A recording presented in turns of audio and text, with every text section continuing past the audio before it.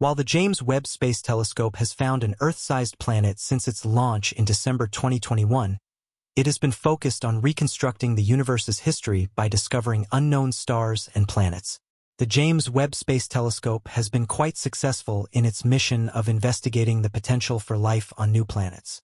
Recently, the telescope discovered a potential habitable Earth-sized planet for the human race. How did James Webb come about the discovery of this Earth-like planet? What's so special about this planet that scientists believe could be the next Earth colony? Join us in this video to explore how the James Webb Space Telescope just discovered a habitable, green, musically resonant planet. The James Webb Space Telescope, JWST, is the most sophisticated telescope exploring our universe.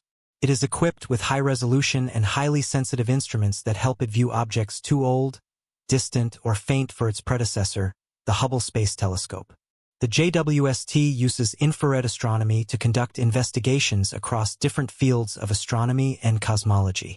The telescope is tasked with the primary functions of observing the first stars, the formation of the first galaxies, and the detailed characterization of potentially habitable exoplanets. Working in line with this mission, the JWST has been pivotal in discovering a few habitable exoplanets, as we will see as we move further in this video. WASP-96 is one star that is the talk of the town in the scientific community. It is a yellow dwarf star that has excited space enthusiasts because it holds the possibility of being habitable by humans. It is similar to our sun but differs by being cooler and older.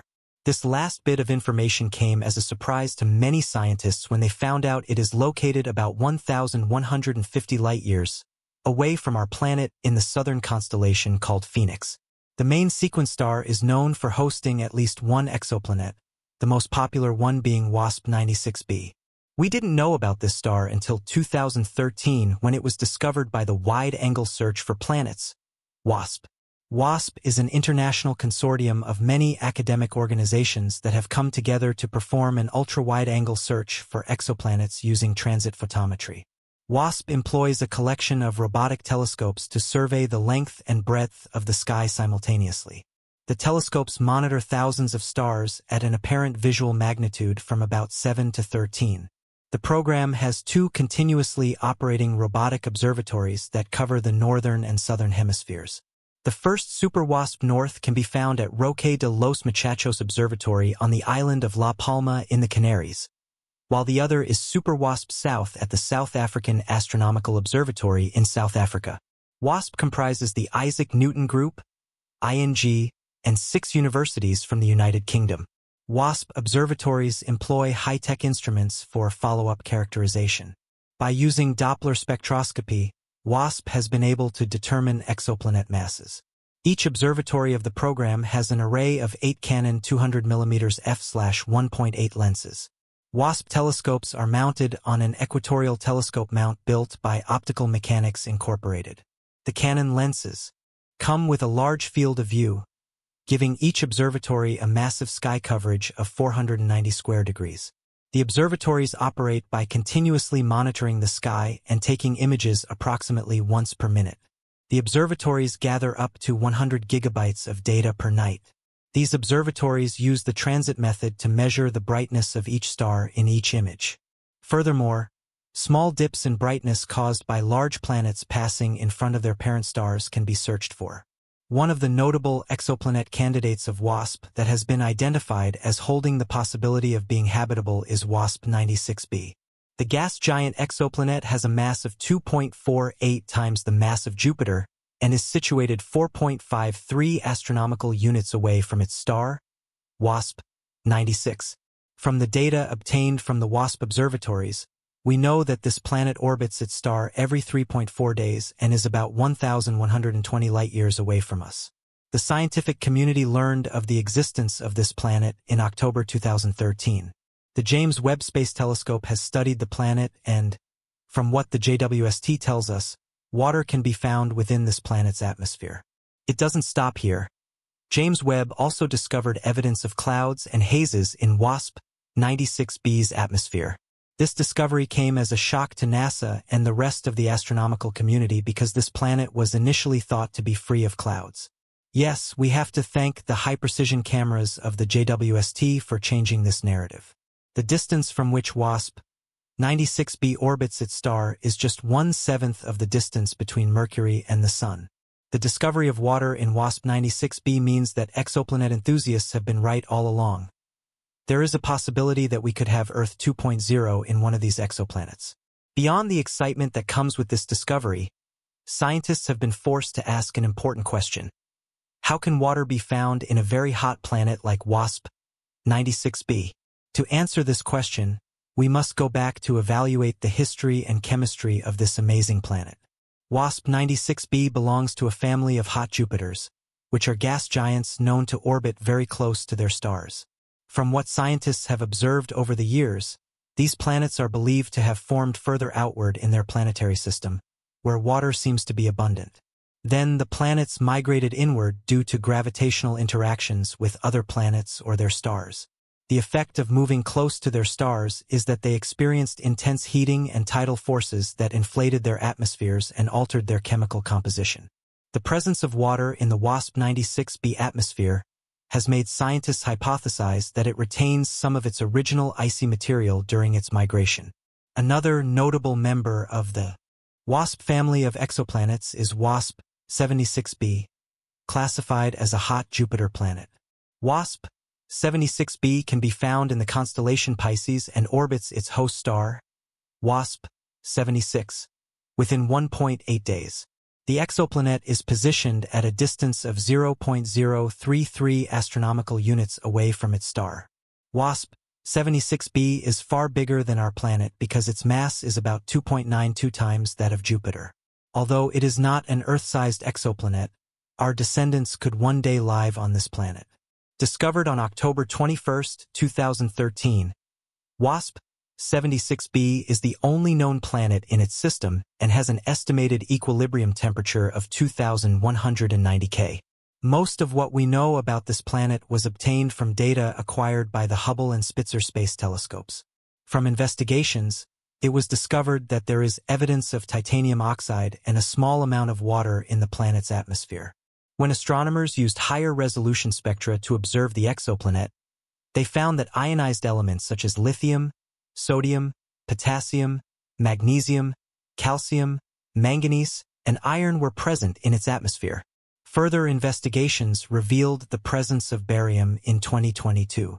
In describing WASP 76b, Scientists say it is cloudy, predominantly gray, and exhibits thermal incandescence. WASP is not the only successful space program that has helped uncover exoplanets. On our planet, the Transiting Exoplanet Survey Satellite, TESS, is another remarkable space program managed by NASA that has been pivotal in searching for and studying previously known exoplanets. TESS is a space telescope that searches for exoplanets using the transit method in an area 400 times larger than that covered by the famous Kepler mission. Launched on April 18, 2018, TESS was designed to detect about 1,250 transiting exoplanets orbiting targeted stars. TESS makes use of an array of wide-field cameras to perform a survey of 85% of the sky.